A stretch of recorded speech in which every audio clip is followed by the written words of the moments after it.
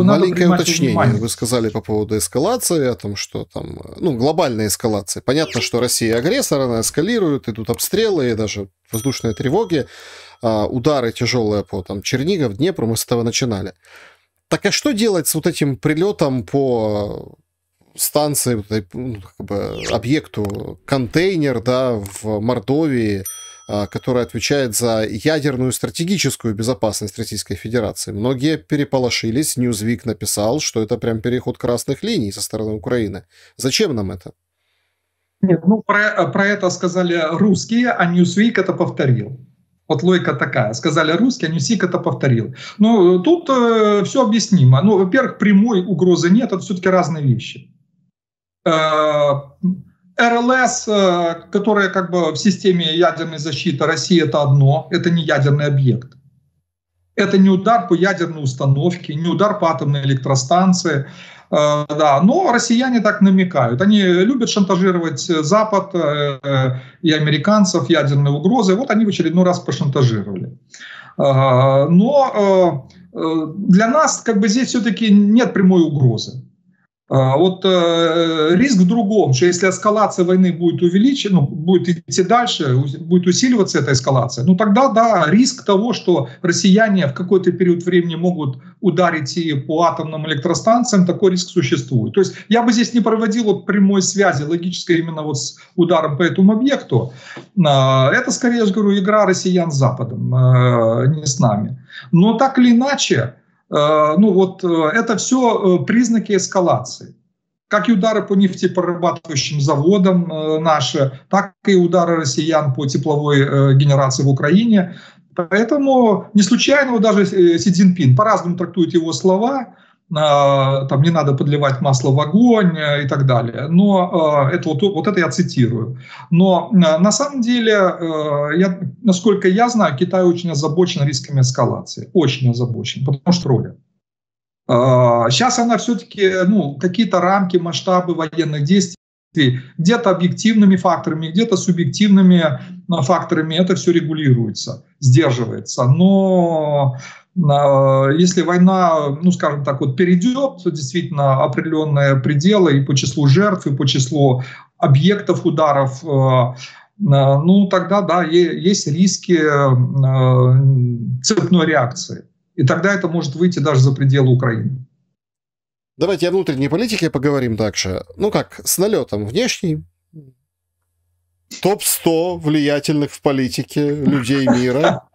И там единственный представитель Украины Андрей Ермак, глава офиса президента. Ох, началось после этого. Там понятно, что э, все, ну как обсуждается, что там э, царевна Яланда с легкой руки Байдена названа Юлия Навальная, да, там она тоже в этом списке. На что влияет, э, пока не так она не просто в списке, она да, на, на, на что она влияет, вообще на непонятно, но и Ермак, там другие, ну и понятно, что Ермак поблагодарил у себя на телеграм-канале, что ну там должны быть вот э, наши герои, ну красиво, да, вот отреагировал, а, что в принципе справедливо, но политические последствия сразу начали комментировать о том, что это такой Никаких ну, погодите, не ну смотрите, такая сказать. значимая фигура в стоп-100 влиятельных в Украине. Все уже опять подняли, сдули пыль с вот этого кейса, а, что после 21 мая Ермак премьер, а, изменения в офисе президента. Что думаете об этом?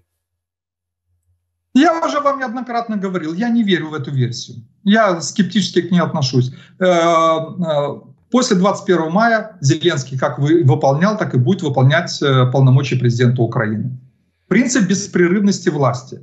Свои полномочия президент Зеленский передаст следующему избранному президенту Украины, никому другому, следующему избранному. Так смотрите, так никому нет другому. у него таких э, масштабных полномочий. Это так просто политическая традиция и война. Кто Подождите, политическая традиция и война да. наложила, да, вот на офис президента, на фигуру Ничего президента. Подобного. Полномочия у нас Ничего по конституции подобного. у премьера, ну реально. Э, читайте конституцию и украинское законодательство. Смотрите, э, формально э, Кабмин формируется Верховной Радой. Кабмин – э, высший орган центральной власти. исполнительной власти, высший, орган исполнительной, высший центральный орган исполнительной власти. Так так было даже при Кучме. В чем разница? При Кучме, ну и на основе первой редакции Конституции 96 года, президент в любой момент мог сместить премьер-министра. Ну и, соответственно, правительство отправить в отставку. Сейчас нет. Сейчас только через Верховную Раду. Но э, почему ситуация не поменяется? Дело же не только формальных, э, да, а после того, как была проведена конституционная реформа, э, которую несколько раз, скажем так, переиначивали, э, э, то мы перешли к парламентско-президентской республике, потом э, при Януковиче это все отменили, в 2014 году опять вернули парламентско-президентскую республику. Вернули, но э, э, в рамках нашей системы и де юре, и де факто у нас два центра влияния. Это президент, который э, отвечает э, за внешнюю политику, имеет э, влияние, э, он является верховным главнокомандующим, имеет большое влияние на кадровую политику, в частности на назначение глав государственных администраций, влияние на назначение силовиков. А, второй центр влияния – это правительство кабинет министров. Если кабинет министров формируется политическими силами оппозиционными президенту, вот тогда да, возникает противостояние. У нас такое было. Там во времена Ющенко было. Но и не прямо косвенно, немножко при э, Порошенко, хотя тоже был парадокс в чем, Порошенко назначил Гройсмана, своего однопартийца, своего соратника, премьер-министром. А Гройсман э, начал немножко э, автономную, самостоятельную политику проводить. Э, кстати, отмечу в связи с нынешней ситуацией, на тот момент не было де-факто парламентского большинства Верховной Раде. И ничего, Верховная Рада доработала до 2019 года.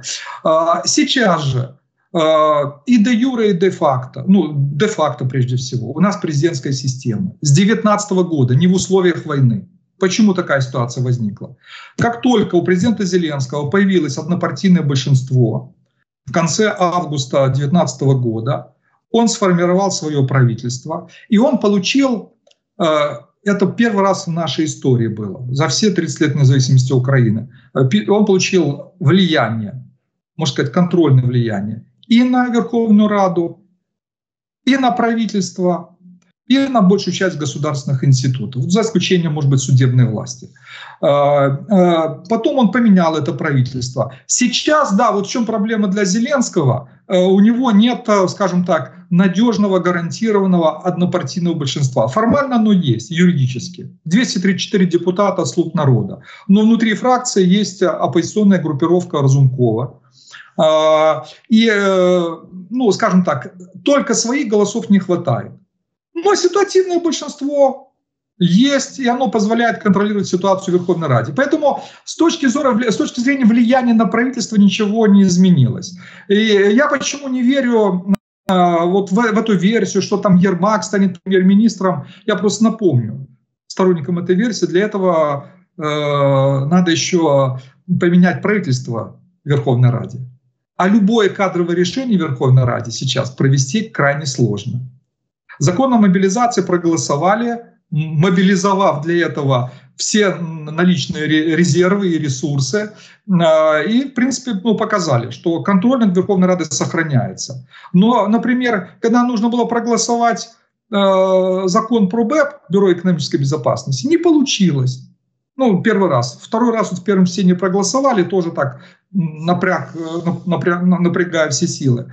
Поэтому я скептически отношусь. Во-вторых, я уже говорил вам, что я считаю, что Ермаку выгоднее быть э, рядом с президентом, оставаясь на нынешней должности. Потому что у нас э, за 33 года независимости, ну, со времен Кучмы, большей частью именно администрация президента выполняла функции политического правительства. Кабмин при всех своих конституционных полномочиях это орган исполнительной власти. А политические решения, как правило, принимались президентом и э, администрацией президента. И так было большей частью, э, э, вот за некоторыми исключениями. Эти исключения ну, были во времена Ющенко, и отчасти, лишь не всегда, лишь по некоторым моментам, вот в момент, когда там Порошенко был президентом, а Яценюк и Гройсман на должности премьер-министра позволяли себе принимать несколько иные решения.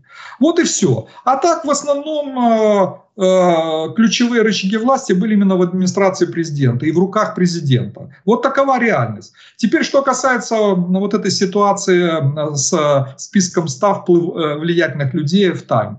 Я уже вот второй день комментирую эту тему. Мне даже смешно. Я советую всем посмотреть этот список. Потому что спрашивают, там есть Ермак, нет Зеленского. А, Зеленский обидится и так далее. А, слушайте, ну так наивно. Вы посмотрите этот список. А, в этом списке нет Джозефа Байдена, нет Си Цзиньпина, нет президента Макрона, канцлера Шольца, ни одного руководителя Европейского Союза. Не буду перечислять, я уж не говорю про Путина. Там вообще почти нет государственных лидеров. Из известных нам государственных лидеров, например, вот в странах Запада, только Дональд Туск. Ну, еще пара лидеров из стран глобального юга. Политиков там около десятка, ну и государственных деятелей, в том числе и Ермак. В США, например, из американских политиков э, Уильям Бернс, директор ЦРУ. Э, я уже про Байдена сказал, Байдена там нет. Ну, там нет и, например, Блинкина там, или Остина, министра обороны, Блинкин госсекретарь. Поэтому э, этот список очень условный. 90% людей в этом списке вообще не имеют никакого отношения к политике. Э, скажу больше. Э, я вот посмотрел, я там половину людей не знаю даже людей из мира спорта, ну, потому что спорт же он разный, ну, одни виды спорта у нас популярны, другие там в других странах мира. А, поэтому я к этому списку отношусь так очень сдержанно. Но для Ермака, конечно, очень важно включение в этот список. Мы и так все знаем, что Ермак второй по влиянию человек в стране. Тут ничего Может, не меняется. некоторые считают, что Но, первый. Но э, это, э, я это называю Ермака паранойя, Ермакофобия, а, а, да, ну потому что вот они политику украинскую воспринимают только через Ермака. Я знаю из разных источников. А, реальная фигура, которая принимает решения, это Зеленский. Ермак исполнитель. Именно поэтому он так долго продержался, 4 года. Вот просто для сравнения. Когда говорят о влиянии, я могу вам сказать, что влияние Андрея Богдана на государственную политику это первый глава офиса президента при Зеленском, напомню, а то, наверное, уже многие забыли. А, так вот, его влияние было гораздо больше, гораздо больше. Известный турборежим в Верховной Раде, помните, первые месяцы работы, это идея Богдана. Богдан напрямую контролировал, Богдан именно напрямую контролировал Верховную Раду. Ермак лишь иногда занимается, и то там больше арахами решает вопросы по Верховной Раде. Ну, вот сейчас, я думаю, Ермак подключался, когда нужно было мобилизовать ну, все голоса наличные за закон о мобилизации, ну и за ряд других решений. А, а так, вот Ермак занимается американским направлением конечно, влияет на кадровую политику. А, а, и он, а, его влияние именно как человека, который, я это ну, условно так называю, первая кнопка на пульте управления президента Зеленского. Это очень комфортно, удобно для Зеленского ему э, вот есть человек, через которого он может решать очень многие вопросы. Он ему не нужно там с Татаровым э, встречаться, либо там э, каждый раз там с Шамагалем или еще с кем-то. Он решает вопросы вот многие через Ермака. Это ему очень удобно. И, конечно, это дает очень большой ресурс влияния для Ермака. Но я знаю ситуации, не буду вдаваться в подробности, когда, например, позиция Ермака не совпадала с позицией Зеленского. И Ермак брал под козырек, он выполнял то, что скажет Зеленский. И это было не один раз. И в этом как раз, вот я думаю, а, мудрость Ермака по сравнению с а, Богданом. Богдан пытался править, по сути, вместо Зеленского, а, прикрываясь ну, статусом Зеленского как президента. Ермак понял эту ошибку, и он никогда не нарушает субординацию. Наоборот, у него четкое понимание иерархии. Э, и он действует в рамках вот этой иерархии, субординации. Так что тут все нормально. Ну вот, возвращаясь к этому списку тайма, э, в чем это значение включения Ермака в этот список? Это для Ермака очень важно. Это часть его международной репутации. Таким образом, как бы легитимируется статус влияния, значения Ермака на Западе. Ну, в Америке и так знают. В Америке контактируют с Ермаком. Джек Салливан, помощник Байдена по национальной безопасности, каждую неделю с Ермаком на связи. И там по другим каналам э, осуществляется влияние. Вот Ермак, кстати, почему международное влияние, почему, в принципе, логично, когда его называют среди влиятельных людей мира. Э, это не, не топ-список, это скорее список второго уровня влияния, ну, с точки зрения политики. Но, тем не менее, он действительно влиятельная фигура. Ермак сейчас занимается, подго... не сейчас, а с прошлого года, занимается подготовкой глобального саммита мира. Он одна из ключевых фигур в будущих переговорах мирных. Э, когда они начнутся. Я в этом уверен, потому что он занимался переговорами в 2019 году. И, кстати, тогда довольно успешно. Э, поэтому он действительно реальная фигура, влиятельная. Но Запад говорит, мы это знаем, мы это видим, мы это подтверждаем. Э, вот для Ермака это очень важно, потому что в Украине он объект для критики, особенно там в социальных сетях, в оппозиционном лагере, и даже часть сторонников Зеленского которые э, не хотят критиковать президента, они могут покритиковать Ермака. То есть Ермак удобная мишень э, для критики. А, но в целом, э, я думаю, что вот этот список, он просто ну, в какой-то мере э, деформировал, я бы сказал, реальное восприятие влиятельных людей в мире. И то, как у нас это воспринято, ну это точно, это сенсация на пустом месте. Потому что в этом списке, еще раз напомню, нет ни одного влиятельного государственного лидера. Ни одного. Потому что Туск, я думаю, что не то, что в десятку, я думаю, что он и в двадцатку не входит самых влиятельных ну, там, лидеров мира. При всем уважении Туск, к Дональду это, Туску. конечно, тоже очень интересная история. Ну, так просто совпало, да. Да, а вот, кстати, про Навальную вы сказали, вот извините, да. Вот я вам скажу, логика есть, почему Навальная появилась в этом списке и почему она на обложке Тайма. Вот тут точно есть логика. Фиксируется э, роль э, Юлии Навальной как лидера э, э российской оппозиции. Э, это проявилось сначала в Мюнхене, но сразу после смерти Навального, потому что надо было показать, что ну, как бы, кого Запад поддерживает как лидера российской оппозиции. Ну и потом вот Байден ее принял, ну и целый ряд других. В Конгресс пригласили. Это вот э, такая была противоречивая ситуация, когда э, Елена Зеленская отказалась э, быть рядом с Навальной в Конгрессе. И Навальный, судя по всему, обиделась на это, ну, судя по интервью Саймона Шустеру. Но это сигнал, это сигнал, что на Западе именно Юлию Навальную воспринимают в качестве главного лидера российской оппозиции. Ну, это да, и, знаете, там вот это вот Тихановская номер два, говорят, на Навальную, и, наверное, правильно правильно и говорят. Э, ну, ее позвали Тихановскую на саммит G7, да, и, ну, как бы интересно, да, вот это все. Э, и, нет, но это опять-таки это, это демонстрация и э, Путин, и Лукашенко, да, как мы к вам относимся. Мы не сжигаем мосты, но во всяком случае в отношениях с Путиным. Э, но э, да, мы э, вот э, реально на всякий случай, на будущее, э, да, готовы вести дело и с э, лидерами оппозиции. Понятно, но Юлия Навальная это отдельный случай. Э, я думаю, что она все-таки более э, реальная фигура. Тихановская скорее. Хотя, хотя подождите, хотя она пытается участвовала играть... в выборах, а Навальная и как бы по наследству не, не, досталось. участвовала, э, несомненно, несомненно, но она участвовала как... Э, ну, тоже, да, так, за мужа, да. Э, Э, да, сменщик мужа, да, который оказался... То есть она оказалась случайно, в общем-то, я вам скажу, в политическом процессе, но активно э, играет свою роль, надо дать ей должное. Она стала, ну, как минимум, э, скажем так, легитимным лидером белорусской оппозиции. Да, Ее друзья... так именно воспринимают. А Юлия Навальная нужно утвердить в этой роли, потому что ну, она действительно не участвовала в выборах, но ее нужно зафиксировать, ее статус. Именно для этого вот и нужны, в частности, вот и ее да, включение. напишите, что думаете и про Навальную, и про Тихановскую, и про сотню, в которую попал Ермак. А, в финальной части нашей сегодняшней встречи, Владимир Вячеславович, ну, конечно, мобилизация.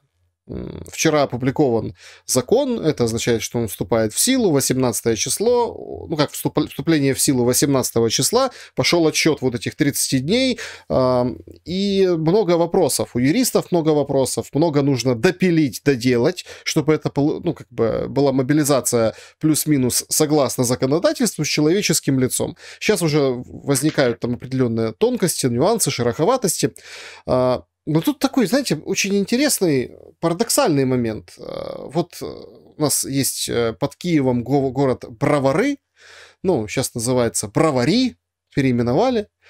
Так вот... Почему Бравары так и называются? Ну, переименовали. Ну Я как, ну, раз... не следите, значит, за жизнью Киевской области. Переименование произошло, да. Вот, интересно, вы меня заинтриговали, проверю, да, да Поменяли название как бы на украинский манер, да, вот э, этого города. А, оттуда передают вообще какой-то апокалипсис вот прям на второй день, как пошел 30-дневный отчет, 6-километровая пробка в один въезд-выезд, другой. Э, э, ходят много, на БТРах почему-то, ходят по квартирам, повестки выписывают. А тут возникает, ну, такой какой-то, ну, вот этот непонимание. То есть 30 дней нужно, остается мобилизации по-старому, и, похоже, она будет, э, ну, скажем, такой особенно активной. А, что думаете, насколько вот эта ситуация с переходом, да, вот 30-дневным, а, может вообще отразиться на ну, принятом законе и дальнейшем его исполнении? Ну, я, во-первых, отмечу, что вопреки разным конспирологическим предположениям, а их было немало, что президент не будет подписывать, отправит э, назад Верховную Раду или будет долго не подписывать, э, как было там с одним законопроектом о снижении э, возраста мобилизации. Нет, он подписал сразу же. Сразу же, сразу же после того, как Стефанчук его подписал. Вот что очень показательно, на это мало обращают внимание. Э, депутаты Верховной Раде могли заблокировать хотя бы на несколько дней подписание этого закона. Ну, представив процедурные поправки, что там нарушили те нормы голосования и так далее. Это часто бывало раньше. Сейчас ни одной такой попытки не было. И Стефанчук подписал сразу, и Зеленский. О чем это говорит? Все понимают серьезность ситуации. Вот на что обращаю внимание. Здесь дело не вот в этих всех, э, в этой всей мишуре вокруг, мишуре вокруг этого закона, а в том, что опасность огромная. Опасность массовой мобилизации в России, опасность российского наступления, которое и так идет сейчас, но на основе наличных резервов и ресурсов. А если будет дополнительная волна мобилизации в России, нам придется делать то же самое. Вот это самое главное. Есть понимание этого. Ее оппозиции, ее президента. А, вот это главный риск, э, который надо принимать во внимание всем. Политики уже это принимают во внимание в обществе, мне кажется, еще не все до конца осознали, насколько ситуация серьезная и что риски возрастают. Э, они не такие, как были там, в начале войны, но все равно риски достаточно серьезные. Э, мобилизация как была и до принятия закона, так она есть и сейчас. Просто в связи с тем, что ну, появляются новые нормы закона, активизировались. И те, кто не хочет подпадать под мобилизацию, ну мы же знаем, там очереди за границей, там э, оформляют свои э, документы за границей, ну, чтобы, скажем так, успеть до того, как вступит норма закона, и тогда придется им вставать на учет воинский многим мужчинам, которые за рубежом. Ну и внутри страны тоже. Активизировались и так называемый ТЦК, вот которым привычно работать по старым канонам, а не так, как там надо будет работать э, после того, как закон с, ка- с камерами. Да, вот они... Э, да, есть право проверять документы, все должны будут носить эти военно-учетные документы. Ну, должно быть, ну, как бы... Э, многие ожидают, что будет культурнее, по крайней мере. А вы? Не, ну э, э, в чем смысл? Я вот сразу, опять-таки, не вдаваясь в детали, про детали, особенно юридические нормы, как они будут работать, лучше с юристами говорить. Это будет ну, корректнее с точки зрения экспертизы конкретных норм. Но э, сугубо политически. В чем главный смысл и две главные задачи этого закона? Первое поставить процесс мобилизации в более четкие, более цивилизованные, более современные правовые рамки. Вот это э, первая задача, потому что процесс был сильно деформирован. Вторая задача, на самом деле, она главная, но а, как бы она ну, в силу разных причин оказалась на втором плане восприятия общества. Но на самом деле вот вторая важная задача – это э, все-таки э, сделать э, процесс мобилизации более эффективным. В частности, через введение э, санкций э, против тех, кто уклоняется ну, от мобилизации. Из-под палки. Но санкции должны быть... Из-под палки. А? А мобилизация – это всегда так. Это всегда так. Мобилизация это всегда не из-под палки, это норм. Мы все, кстати, большая часть законов это тоже палка. Абсолютное большинство законов это палка, это правовые рамки. Мы, если мы хотим жить в правом государстве, мы должны э, выполнять нормы закона. Э, иначе не работает государственная машина, и общественная жизнь начинает разрушаться. Вот как она разрушилась э, в Гаити, например, или в Сомали. Да. Пока работает государство, чтобы обеспечивать, например, главную функцию государства, функцию защиты. Сейчас это функция защиты Кто от внешней агрессии. И чтобы эта функция работала, граждане должны выполнять свой конституционный долг. Да, э, мобилизация – это э, формат выполнения гражданами конституционного долга по защите своей страны. Так что это палка, как и любой ну, смотрите, закон другой. палка всегда, э, так что всегда ничего... в двух концах. Кто защитит граждан, которых шельмуют уклонистами и э, называют, и называют Причем рукой здесь... Кремля? Подождите, ну давайте сейчас вот э, не манипулировать, не бросаться в крайности. Если гражданин, и я знаю немало людей, которые, кстати, не дожидаясь, когда еще этот закон вступит в силу, пошли, например, проходить медицинскую комиссию. И столкнулись, вот это вот почему необходим, кстати, месячный э, период. Ну, там много. Там надо подготовить электронный кабинет и много других норм, э, чтобы они начали работать. Ну, потому что ну, мало принять закон, нужно еще подготовить и нормативную базу подзаконную, и конкретно организационные инструменты. И вот э, в частности, надо вот организационно подготовиться, э, и в том числе и к увеличению масштабов мобилизации. Оказалось, что ну, огромные очереди в медицинских комиссиях, там куча проблем. Ну, главная проблема это вот очереди. Ну, то есть, э, ну, вот Мин, э, Министерство охраны здоровья надо как бы заняться, как-то оптимизировать этот процесс. Э, и точно так же вот и многое придется сделать тем территориальным центром комплектования и многим другим структурам, которые будут задействованы в этом процессе. Что касается уклонистов, ну, слушайте, законы приняли специально для того, чтобы люди осознали. Ты либо выполняешь Э, требования государства в чрезвычайной ситуации, в военной ситуации. Либо ты фактически э, сам себя выводишь вне закона. Вне закона. Ты не хочешь вот Э, это вот, на мой взгляд, это главная несправедливость. Когда говорят там про несправедливость э, закона, да, вот в этом, на мой взгляд, несправедливость. Когда одни воюют и зачищают, а другие в тылу жируют и пользуются тем, что за них воюют. Вот это несправедливо, на мой взгляд. И поэтому я сторонник того, если закон, э, вернее, для того, чтобы норма закона работала, должны быть санкции для нарушителей закона. И если человек уклоняется, да, ну можно называть уклонистом, там как угодно, ухилянтом и так далее. Да, но когда я вижу, кто-то бравирует этим, вот я, у меня просто возмущение. Я считаю, что вот этих людей в первую очередь надо наказывать, потому что они фактически выполняют подрывную работу. Если человек просто боится, я это еще могу понять, но это реально э, психологическая ситуация. Не все герои. А, ну, не все готовы идти и э, воевать и ну, подвергать риску свою жизнь. И люди боятся. Я знаю абсолютное большинство людей, это, кстати, подтверждает косвенно социология. Вот э, есть э, такой дуализм, амбивалентность, выражаясь научным языком, противоречивость настроений. С одной стороны, люди хотят победы, хотят завершения войны на наших условиях. Это абсолютное большинство. Но при этом они боятся за своих близких. Да, и не очень хотят, чтобы их близкие э, шли воевать. Это реальная ситуация. Что ну, поделать? Тут, как бы, знаете, да, поэтому, а, к сожалению, тут мне очень нравится вот эта амбивалентность. Получается, ну, получается нужно или перестать хотеть победы, или перестать бояться за своих близких.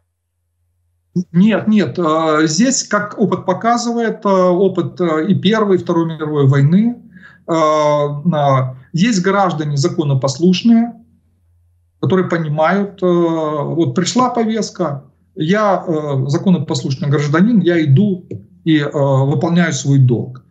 А есть люди, которые там предпочитают. Это для меня просто там лауреата, как это называть, Дарвинская премия, да, когда премия за идиотизм. Когда я, боясь погибнуть на фронте, готов погибнуть в ТИСе, ну, в реке пограничной. Вот для меня это просто и э, признак идиотизма, и просто позор. Э, но такие люди есть. И дезертиры есть. И э, были у нас тысячи дезертиров. Э, э, так я могу вам сказать, и в России похожая ситуация, и была, и есть. Просто там больше сейчас контрактников призывают, поэтому как бы, ну, денег больше. Поэтому это снимает, скажем так, частично эту проблему. Но дезертиры с фронта есть тоже. Да, но я как историк по образованию хорошо знаю, что когда начиналась Отечественная война, сотни тысяч, сотни тысяч не тысячи, а сотни тысяч бойцов Красной Армии либо сдавались в плен, либо дезертировали. Это была массовая ситуация. Э, все, кто знает историю Отечественной войны, знают про заградотряды. Поэтому это реальность любой войны, любой войны, не только нынешней. Поэтому, да, ситуация сложная, болезненная для людей, драматическая даже для людей. Но это реальность, в которой мы живем. И у нас сейчас другого выхода нет. У нас нет альтернативы мобилизации. Ее просто нет. Но, а, а, естественно, в том числе противоречивый характер общественных настроений через какое-то время. Я думаю, он будет подталкивать э, руководство страны э, э, к тому, чтобы рассматривать ну, когда будет подходящая военная ситуация, рассматривать дипломатические условия завершения войны.